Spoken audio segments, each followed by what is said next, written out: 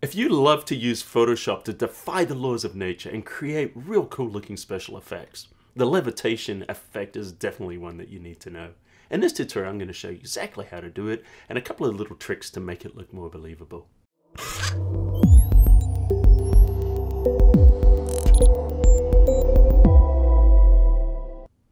Hey Cafe crew, it's Colin Smith here from PhotoshopCafe.com, the very best place to learn Photoshop and Lightroom. So what I've got for you today is a levitation effect. And I'm going to let you know right now the secret to creating great levitation effects is starting with good photographs. And what you want to do is just have people resting on chairs or different objects like that. Um, make it look like they're falling or whatever they're doing and then what we're going to do is we're going to take away those props of those things holding them up. And then that's what's going to make it look believable. There's a couple of other little tricks in there too that I'm going to show you to just add a little touch of realism. Now the photos I'm using I got from Adobe Stock and you can find a lot of photographs there. In fact, I'm going to give you a link underneath where you can get 10 free images from Adobe Stock. All right, let's get started. This is the photograph that I chose, and the reason I chose this is I really like her kind of falling effect going on here, and also the expression on her face is really good. It doesn't look so posed, it looks quite real, so I want to use this particular picture. All right, so the first thing we want to do is we're going to cut her out. So we're actually just going to go up here and select the Quick Selection tool. And under the Quick Selection tool, there's an option that was dropped recently, and it's called Select Subject. So if we click on that, it's magically going to select the subject. And while we're waiting for that to load up, let me ask you a quick question. Are you guys using Mac or Windows? Are you on a laptop or are you mainly on a desktop? Let me know in the comments underneath. All right, now we've got our selection that's kind of started and we're going to clean it up a little bit with our quick select brush. Notice there's some areas there that got left out and we just simply click on these.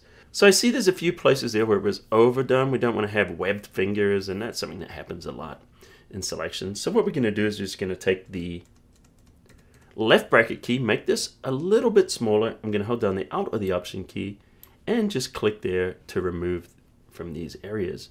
So just look for these little tight little spaces there, and that's where you're going to find those particular things. Those little webbing kind of things, I call them.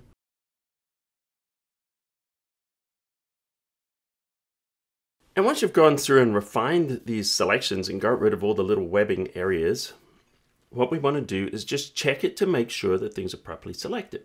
And the way to do that is just hit the Q key for the quick mask and we can see that's looking pretty good. Let's change it to a yellow color. Double click on the quick mask. Then you'll see this color swatch. Then we can change the color of that to anything we want. In this case, I'm going to choose a nice bright yellow. Click OK. Hit the Q key once again. And I'm just looking for areas in here where we missed it, and it's looking pretty good. Don't worry about the seat because we're going to be removing that. All right, so we've got a rough selection. The next thing we want to do is we want to go and clean up that selection, and we're going to do that in the Select and Mask. So what you want to do is just click where it says Select and Mask in the top, and then we click there and we go into our Select and Mask space. I'm going to go under the View menu, and now I'm going to change this to on white and on black, so we can just kind of see it. On white is a good one to work on because we can see some of the jaggies around the edges.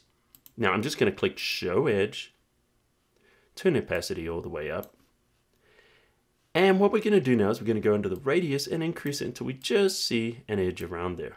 That's looking good and turn off the show edge is just going to kind of help a little bit.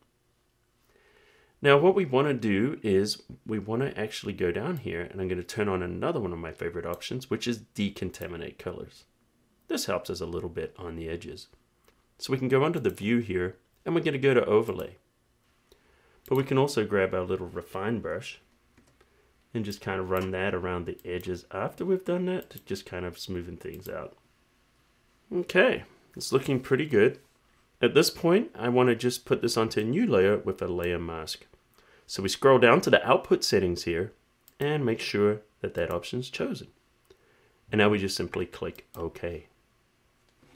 And I'll hit Control 0 and we can see there's our rough selection. Now I want to do a little bit more work on this before we incorporate it into the picture.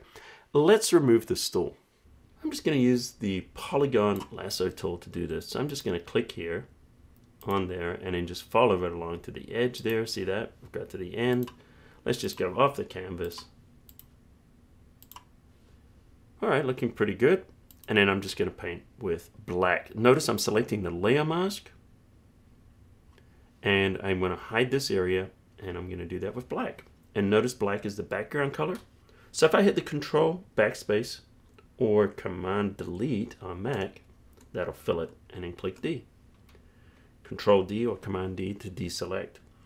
Okay, so we're almost there, but one of the things you're going to find in this case, we've got a flat bottom, is I want to just kind of liquefy this, but I'm on a mask, so what I'm going to do here is I'm just going to select this and I'm going to convert it to a smart object. And the reason I'm doing that is so I don't get messed up with the mask. So we're going to go under the liquefy tool. So we're going to choose filter and then we're going to go down to liquefy. And what we want to do is grab the first tool here. That's a forward warp tool. And I want to make this brush huge. So I'm just hitting the right bracket key. And I'm just going to go in there and I'm just going to click and maybe make it a little smaller. And I'm just trying to create a little bit more of a rounded shape there. So it doesn't look so flat. And then click OK. Awesome. Is I'm just going to flatten this one down. I'm going to right click and I'm going to rasterize the layer. Typically I wouldn't, but right now there's a bug inside of Photoshop. If I drag that in there, it's not going to apply the liquify properly. So we're just going to take that in and drop it into our picture. Excellent. So we need to make sure that we composite it with her head up like that. Let's make it a little smaller. Control T or Command T for free transform. And I'm just going to kind of move her around a little bit. Well, let's try the size. Let's play around a little bit. Okay, so now we've combined the photographs and we've sort of got our lady floating. But there's a couple more things we need to do to add a touch of realism. So let's go in here. The first thing I want to do is I want to kind of adjust her tones to match. So what I'm going to do here is I'm going to create a curves adjustment layer. And I want to clip this so it only affects the layer underneath and not all the layers. The way to do that is to just go under this little option there. See that option? Click on that icon. You'll see a little arrow will appear. And now it's only going to affect this layer and not all the layers underneath. Now, if you want to know more about curves, I've got a comprehensive tutorial. I'll link it underneath. Okay, so we just want to kind of match these tones a little bit more. So I'm going to go about here and just kind of brighten it.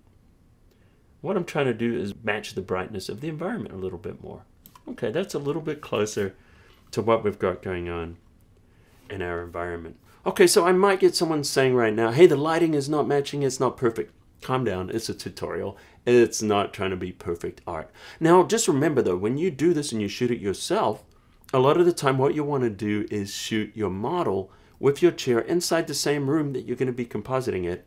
And in that way, all your lighting and everything is going to match perfectly. So what I want to do now is I want to add a little bit of a reflection on the floor underneath so it looks like she's in this room.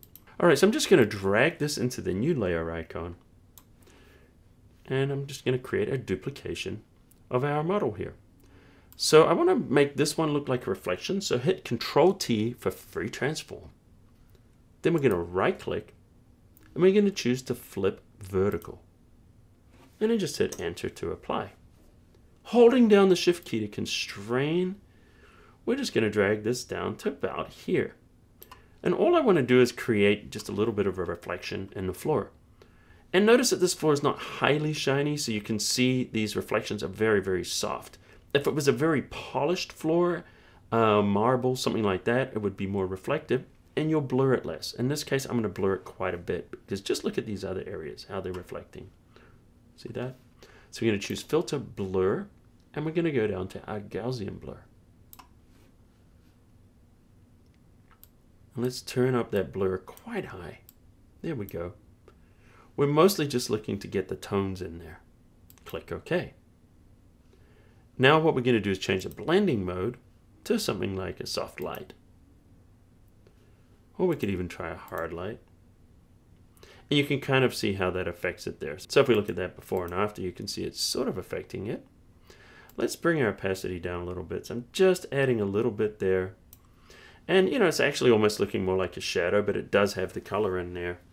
And, uh, and that's going to work well. Now, there's one other thing I'd like to drop in here to make this interesting. Is why don't we add another uh, topic? So I've got this cup here that I extracted previously. I'm just going to drag it in. And let's just hit the shift key and drag it down. And we could kind of put this up here where, you know, her coffee is also spilling.